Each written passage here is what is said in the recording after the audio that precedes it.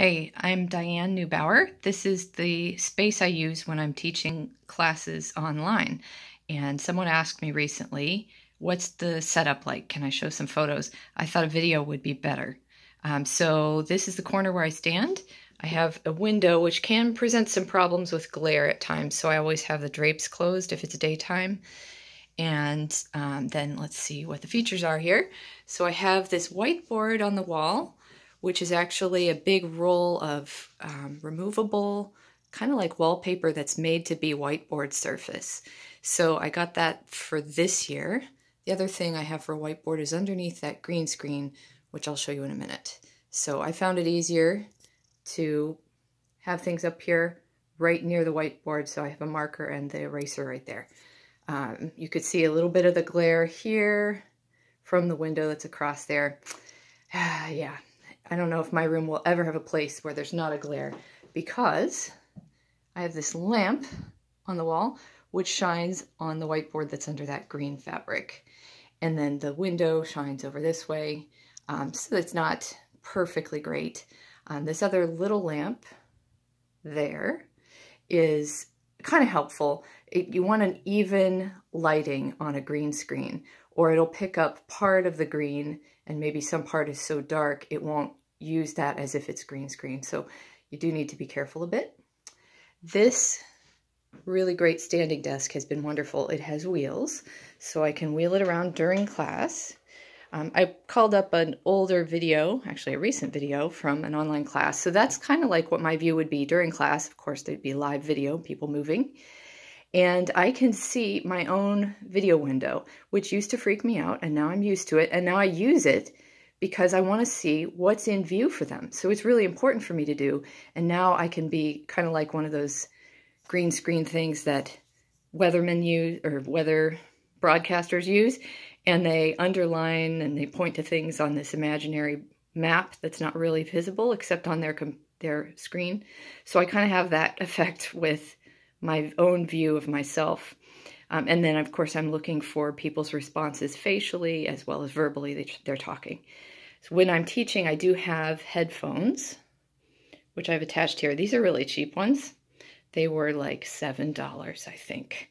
Um, and they seem to be working well. There is a microphone on it, um, but I found also my computer microphone that's built in is perfectly adequate. This is a ThinkPad, fairly newish, not extremely top of the line, but, but this is the nicest computer I've had in a while. So that's been helpful. I do have this little lapel mic that I bought thinking that I was going to need something that was better. Um, and it, it, just doesn't do anything different than this computer can do without a special plug-in. So when I make read-along videos, I use just the, the straight-up built-in mic on my computer. Okay, so let's look at the green screen. I use this with Zoom. So up at the top there, you can see the clips. Those are removable clips I forget what to call those. I think it's by 3M, where they have a little pull tag that you can pull down. So this clips up. I just kind of wad up the fabric a little bit at the top and clip it up there. And it's easy to remove it. Um, so if I want more whiteboard space, I've got this one that's been up on the wall for a while. You can see though, this one is particularly prone to glare from that lamp. Now really what I want to do with lamps is hang one from up there in that beam in the ceiling. Um, that would be ideal. And then it can shine the light right on the green screen when that green screen's up. And I don't have to turn on the lamp that has produced that glare right there. Um, still going to be a little bit of an issue over here with the window, but that glare isn't so bad that it blocks the writing completely out of view of, of the class.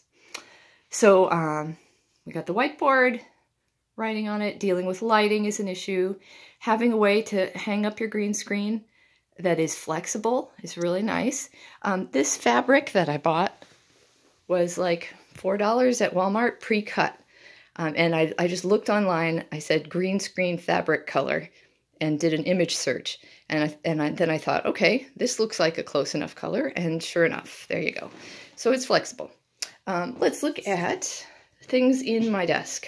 I always have something to drink, um, a timer. Sometimes that's helpful to make sure I give brain breaks if I'm with a group that really asks for that kind of thing, just a little pause to check in with them.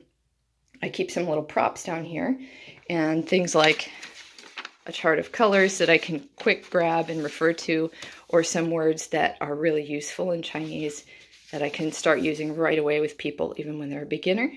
And I have that ready to go. Don't have to write it on the board. Um, I've also played some things with green screen using this bag that I got at ACTFL a couple of years ago. So it just happens to be the right color of green. And when I wad it up, um, it's pretty fun to play with as a green screen. And then you can bring it in close to the camera and show everything on the green screen, or you can just show a little piece of it. So I have a video also about that. So I think that's pretty much it.